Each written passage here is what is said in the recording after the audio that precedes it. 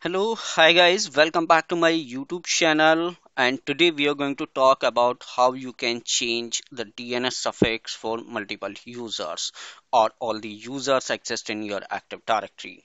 So in my last video you have seen it how we set up the DNS suffix here. Let me go and show you what we did it in our last video. Here this uh, DNS suffix we added us.com and if I go to the Active Directory and uh, this is not assigned. This is a DNS suffix is showing the uh, so now the question is if I have the hundred or thousand of user how can I change this DNS suffix name for all the users?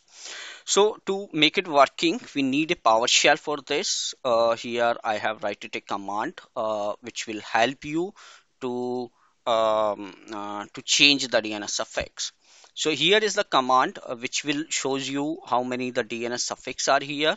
Let me just do the clear screen. So this command will show you how many DNS suffix we have. So I have the US and I have the vanshcloud.com. So I'm I'm assigning I'm going to assign this EUS.com. So this command is grayed out. Uh, this is for uh, uh, let me remove this part. And if you want to add the DNS suffix so you can use this PowerShell command. But in our scenario already we added the DNS suffix so no need to run this part.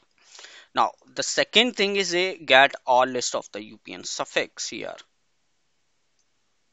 Oh sorry. This this, this command is duplicate now the next is list of the all users from the, your organization. So let me select this part and run this. So it will give you the all the users available in my active directory. So it's a admin and the dns suffix name is the vansh.com and uh, this is a my the cloud account and this is my the on-prem account and this is my the on-prem account. So all three account are tagged under the vansh.com domain and I would like to change it to us.com so let's see. Here is the uh, the command is local ad user filter with the principal name and uh, the domain what I filter it is a vansh.com so now the property is a principal name and the result uh, result sizes and all. Now the local ad users this is the variable I assigned so you can give the any other variable as well.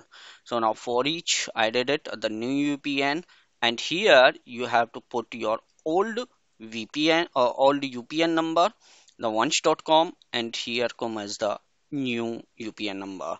And the set ad users. And finally we'll test it. So let me go and run this command. So that's all. It's got change. And uh, let's see now what is the my you know suffix. So now this suffix has got change. It's showing uh, us.com for all the users and I change it for if it is a vansh.com it will change it to the US but this account was with the vanshcloud.com and I have not changed for this. So if you would like to change any specific uh, DNS to the DNS suffix so you you have to follow this process. Now let me go to the active directory and see whether it's really got changed or not. So this is my the admin account. Go here go to the account and now you seen this is tagged under us.com and here is my another account. This is SQL account. So S account also showing the us.com so guys thank you for watching this video. See you soon in my next video